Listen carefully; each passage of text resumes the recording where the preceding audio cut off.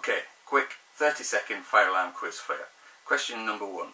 Is fire alarm fireproof cable actually fireproof? Yes? No? Don't? Close? No it's not.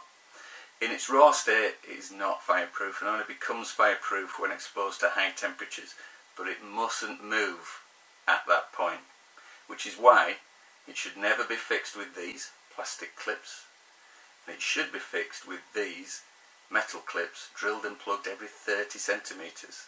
It's going to be dearer, but it could save your life and it will meet the standards.